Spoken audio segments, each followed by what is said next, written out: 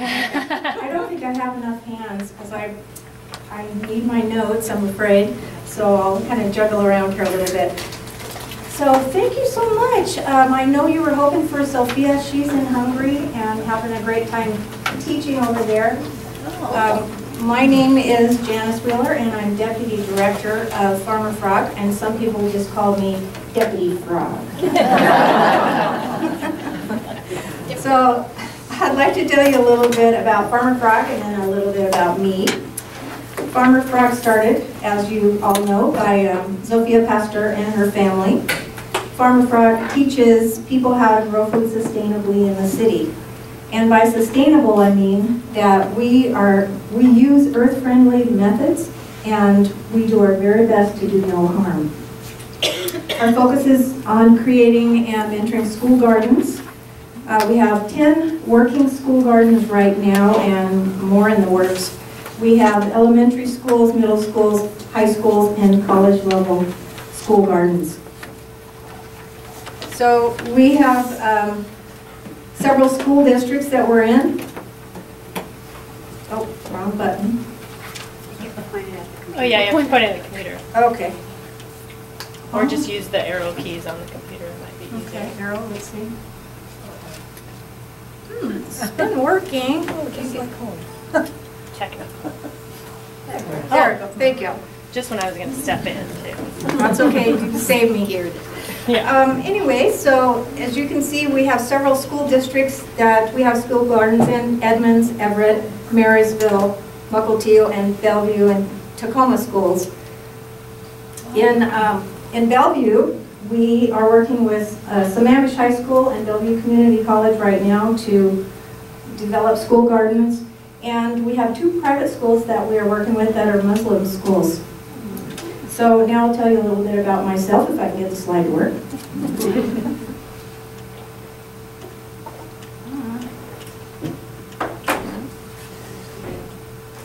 There you go. Okay, so I, you can't see it very well, um, but this is my front yard. My, um, I took the grass out of my front yard and I put in a garden.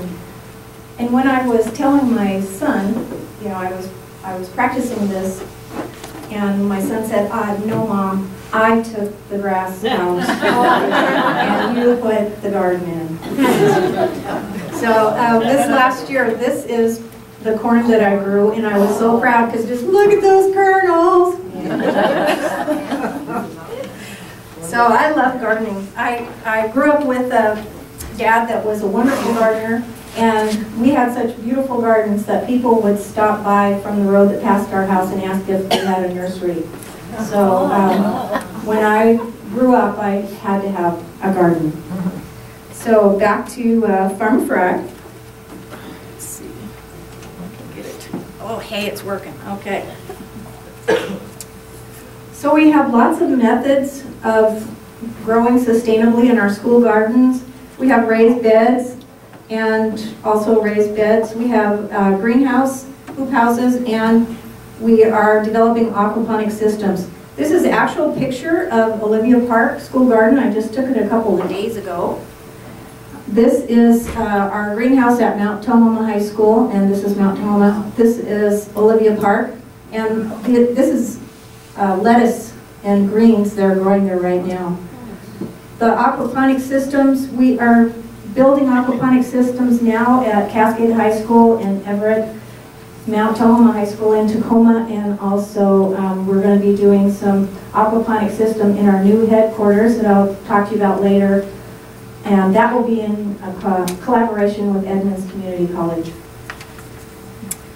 So let's see, where am I? Okay, so um, Farmer Frog is developing school garden curriculum. There's recently been mandated uh, by a federal mandate that our schools need to have more hands-on applications of school curriculum. So uh, Farmer Frog is developing school curriculum that satisfies those requirements. And those are, that is for science, technology, engineering, and math, also known as STEM. And I don't know if you can see that. So All school subjects may be applied to sustainable food production. The garden becomes an outdoor classroom. Subjects may be combined across disciplines, um, such as combining art with robotics to make garden sculptures, and um, building hoop houses using algebra and design techniques. So Farmer Frog programs are all about education. We offer a hand up, not a hand out. We encourage participation in the garden so that you learn. Students, families, and communities then become more food secure, self-sustaining, and self-resilient. And as the saying goes, teach a man to fish. So integrating sustainable food production in school communities on school properties supports healthy eating habits, reducing heart disease and obesity. Parents no longer have to wonder, how do I get kids to eat good, healthy food? Because their school experience will immerse them in the science of growing food and the experience of eating healthy food, parents will no longer have to wonder. So because we teach sustainable methods, Farmer Frog programs benefit pollinators, water quality, soil health, wildlife, and people. And improving soil health improves the nutrition in our food. Farmer Frog is initially developing school garden curriculum based on the history and culture of the Ozette potato. So the Ozette potato has a long history in Washington State. It was originally grown in Peru, and the Spanish explorers picked it up from Peru and started using the Ozette potato as a staple in their diet. They brought it to Mexico and in their community in Mexico. And then as they moved up the west coast, they brought the Ozette, potato with them along with other foods. And they settled in Bay, and the Makah Indian tribe got to know them there. The Spanish established a settlement there, and the Makah Indian tribe began to grow potatoes as well. So this was before the uh, European explorers came west, so it was quite a long time ago. That's okay. So we are devel developing curriculum for kindergarten through 12th graders. There, there are different um, things that the different grade level study. For example, kindergarten may, may uh, be studying colors and shapes. So the teacher will take the students out into the garden and study colors and shapes in the garden. In uh, third grade, they may be studying temperatures and measurements. So they'll go out in the garden and they'll study uh, temperature of soil around the garden and measure plant growth, as an example. In eighth grade, I don't know if you had Washington State history, but I had Washington State history. So the Ozette potato is perfect subject for Washington State history.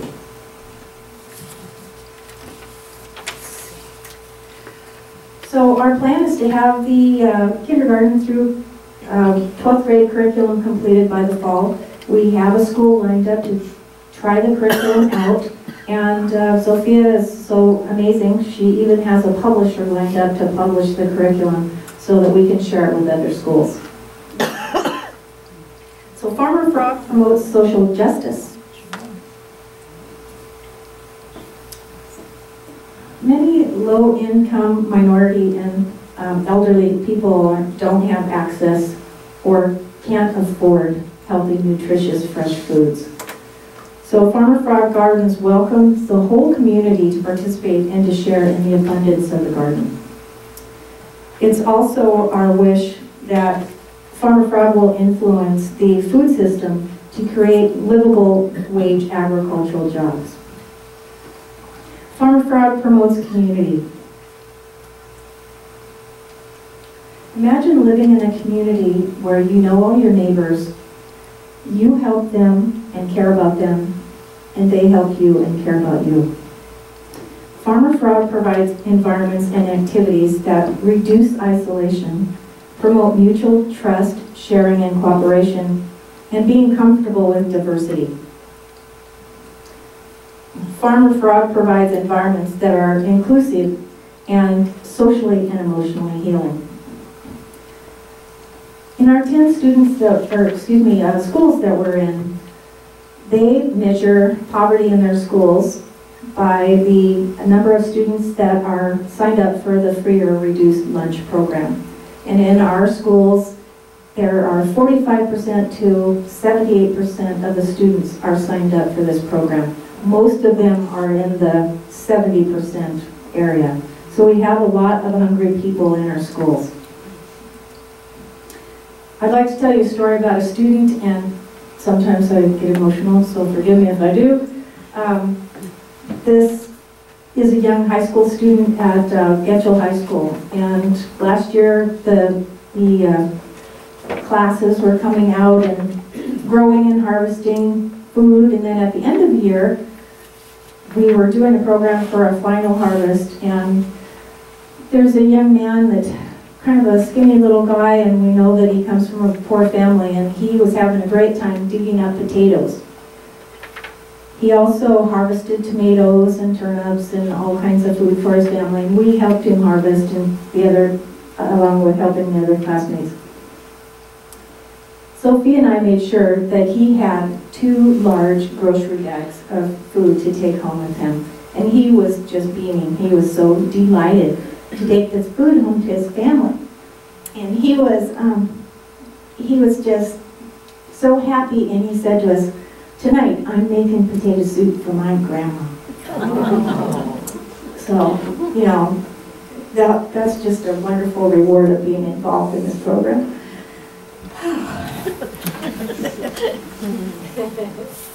so Farmer Frog wants to end poverty and hunger. To not have a supportive community is poverty. Laughter is the brightest when food is the best is an Irish proverb. Farmer Frog is building communities that enjoy delicious and nutritious foods alongside the experience of mutual trust and caring. Farmer Frog has student leadership programs. We have a, a, a student program called Garden Warriors. Students learn to care for the garden and teach students uh, that are new to the garden what they need to know to be good garden stewards. This is Diana Cantini, and she was recognized as the, the Youth Environmental Leader of the Year for the middle school category and was awarded a recognition by the Snohomish Conservation District. She works at, uh, at the Discovery Elementary, Explorer Middle School, and Olivia Park Elementary School Gardens, and we are really proud of her contribution. In this picture here, she is working at the farmer's market that I'll tell you about soon. Also in our Farmer Frog uh, Student Leadership Program is Carlos Arnanda. He was uh, awarded the Youth Environmental Leader of the Year Award for elementary school level. He works at the Discovery Elementary School, and you can just see that proud little face. And he just is really a wonderful, happy contributor in our programs. So another uh, leadership program is our Farmers Market program. Students help us to grow, harvest, and take school produce to the market. Uh, all of the all of the funds from the produce go back into the individual school gardens. And you can see we have an abundance of produce. This is a wonderful cabbage that came from one of our schools.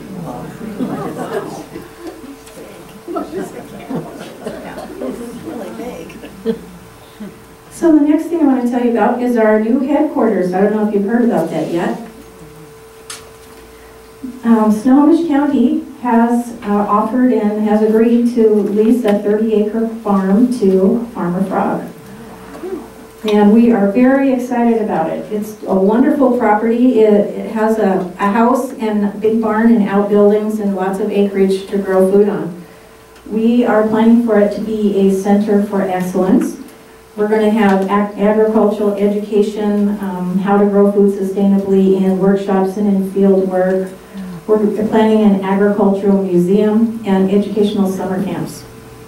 The headquarters house, barn, and outbuildings are in pretty good shape. The house was built in 1880, so it has a lot of history. There's been four families of farmers that have handed down the farm, um, four generations of farmers, before they donated it to the county. So, and they donated it with the stipulation that it had to continue having agricultural activities on it. So Farmer Frog was a good choice for that.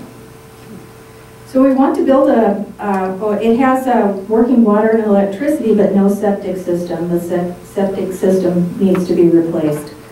We want to build a commercial kitchen to teach food preparation and to process food for sale to restaurants.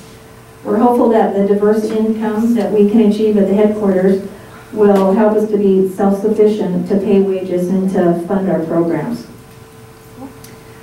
As you know, Sophia has an international presence. She is, um, she's in Hungary right now, and she teaches in quite a few places in the world.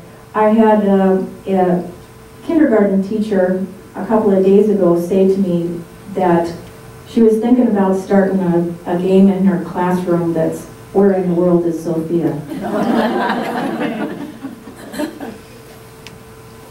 So it's our dream that the headquarters will be an international center for excellence in sustainable agricultural practices. Where is it located? It's in Mulvey. It's in the Maltby area. Okay, so um, to end, I'd like to talk to you about some urban, urban farming techniques. And I'll be talking to you about tilling, uh, compost, loving weeds, energy and water conservation, and aquaponics. So for tilling, uh, I don't know about you, but I, I had farmers for grandparents, and I can remember my grandfather on the tractor tilling and getting the, the field ready for the, for the spring. Well, what the scientists have figured out now is that the soil is a living ecosystem. It is full of life. It has microorganisms and bacteria, worms and bugs, and it's just full of life. And the plants have a symbiotic relationship with some of that life. For the uh, example, microorganisms. The microorganisms help the plants to take up nutrients. The bacteria actually has been found to be kind of an extension of the plant's immune system by interacting with the plant to help ward off bad bacteria. So when you till the soil, you are damaging that living system. So we're doing much less tilling now than in previous years. Um, what we do instead is we add compost to the top and just plant. Or if you want to do a ground cover over the winter, you do a ground cover, you just take the top of it off and turn it over, put um, compost on it and plant. So you really try not to disturb that living ecosystem in the soil. Um, a lot of people are using compost instead of fertilizer, either synthetic or even organic fertilizer, because these fertilizers tend to have less nutrition than compost. When you think about it, a lot of fertilizers only have like four to six nutrients in it. And imagine how many more nutrients organic materials have that the plants can resource. And when you have more nutritious um, resources for the plant, you're going to also have more nutritious food to eat. So a lot of us are doing strictly compost and don't use fertilizers at all. At Farmer Frog, we use cedar compost, or Cedar Grove compost, and everything thrives in it. I highly recommend Cedar Grove. So talking about the love of weeds, people are changing their ideas about weeds. Um, getting to know weeds a little better and knowing, you know, their friendly qualities. For example, dandelions. Dandelions are one of the first things that bloom in the spring, and they are an important food source for early pollinators. So it's important to let some of your dandelions be there to feed the, the bees and the pollinators. I know it's asking a lot. Just think of those poor little hungry bees.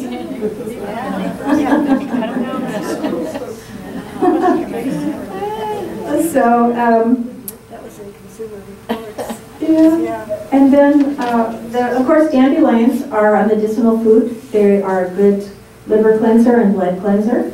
And they're high in vitamin A and vitamin C. People steam the leaves and they also drink dandelion tea. And there's a few that make the, yes.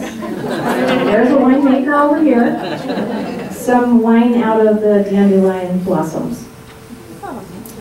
Yeah. So another nettle that we have commonly here is stinging nettle. Stinging nettle has long roots and it is known to be a powerhouse of minerals. I have friends who pick and uh, make dandelion or dandelion nettle tea every spring to give them a boost after the long winter. So let's talk about energy and water conservation next. And in um, sustainable practices, we do things like we use compost in the hoop house to warm the hoop house. Farm Frog learned about that from Growing Power in Milwaukee, Wisconsin. That's what they use to warm their hoop houses in the winter with no electricity. And if you know anything about Milwaukee, Wisconsin, they have some cold winters. So that's a really neat way to be um, energy conservative. We also do drip irrigation, a drip line irrigation instead of overhead watering. I don't think you can ever 100% um, get away from having a hose in the garden. You need it for some things, but to do uh, drip irrigation, you don't have all that evaporation that you do with other methods of water. Okay, so and then finally here, uh, I just want to tell you a little bit about aquaponics. So you can see the aquaponics system here. Uh, there's fish on the bottom and then plants up above. There's a pump that pumps the water from the fish tank to the plants and from the plants to the fish tank. So, uh, but first let me tell you the difference between hydroponics and aquaponics. Hydroponics uses water with a lot of chemicals in it for nutrients for the plants, and they grow food to eat. The thing is, is that when, the, when the, you're done with that water, it's considered hazardous waste. With aquaponics, you have a system that cleans itself. You've got the, the fish that generate fish, fish waste. That water goes up and feeds the plants. The plants clean the water, and then it goes back to the fish. The only energy that's used is the energy for the pump and for uh, making fish food. So I know you're going to ask me, what kind of fish can you grow and eat, and what kind of food? I was ready for that question. you uh, can grow different kinds of fish depending on the temperature of the water. Um, some of the fish that you can grow are catfish, perch, and largemouth bass. And uh, I picked those to tell you about because I think those are the tasty ones. You can also grow uh, vegetables, uh, any kinds of greens, lettuce, chard, chives, microgreens, with just any uh, aquaponic tank. But if you if you want to get do the summer crops, you need to have a well-stocked, lots of fish for a powerhouse of fertilizer, and you know plenty of light. And you can grow tomatoes and peppers and cucumbers and summer crops with uh, aquaponic system as well. So thank you for your attention and for inviting me to talk to you today. And um, do you have any questions? Cedar Grove Compost is located in Marysville.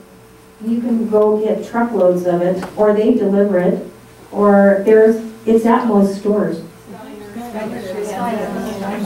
But they mentioned that they donate their, all of the compost that we need. Yeah, at the school gardens, they donate all of the compost that we use, which is hundreds of yards. Huge support. Oh, I'm sorry. My other question is, what feeds the fish? Oh, we do, we do feed them fish food. We do feed them fish food. Yeah. Yeah. those are the only two things that take extra energy out of that food production system is the electricity for the pump and the fish food. Okay, so I'm gonna, um, hand you over, oh, go ahead. Well, I was going to ask about events that are coming up that are supportive of the new headquarters. Oh, thank you. Well, I'm, I'm going to give you to Marnie, that's perfect segue here. Hey, I, I don't usually need a microphone because I'm noisy, but do you, do I need a microphone? Yes. Okay. Yes. Um, so, so events coming up, um, we're still planning our headquarters events. And so far, we have uh, permission to kind of move in to the property, but we don't have the official uh, contracts and everything all signed off by all the city officials and all the uh, Ts crossed and Is dotted. Um, So, so we're moving in at this, at this point, and so we're using people with trucks and that sort of thing at the headquarters. Um, But other, other things that, um, we have tons of other events that you can support Farmer Frogs Mission, um, you know, get out to school gardens. We have a very important time of year coming up, which is our farmers markets. Uh, And we're going to be doing three this year, which is new for us. Uh, We did two last year, and that was quite an undertaking. The Lynnwood one was canceled, we're doing two. Oh, we're Yeah, back to just got two. canceled. Yeah. Just breaking news, we're back to two. Well, darn, that's too bad for Lynnwood. That's, Yeah. that's depressing. Where are the other two? Uh, So we'll be selling at the Everett Mall Farmers Market and at uh, Marysville Farmers Market. So we definitely need help um, with staffing the farmers markets. Um, Students help as much as they can as well, but they need supervision, of course. So, um, and I have a sign-up sheet here that I'll put at the back of the room, and I have some brochures to give you if you'd like more information. There's tons of information on our website, including upcoming events and volunteer opportunities.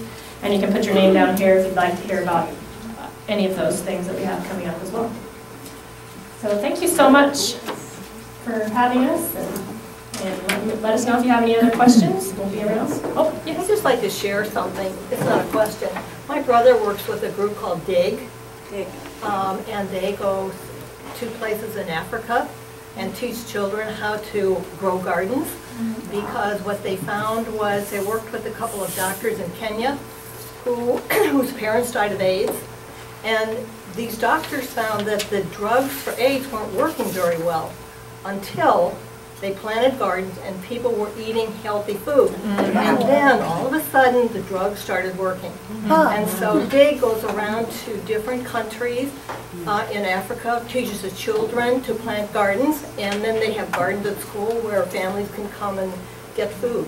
So I just, that's the Yeah. importance of fresh. Thank you. So yeah, I'll put this in the back there so that as you're leaving, you can take some information.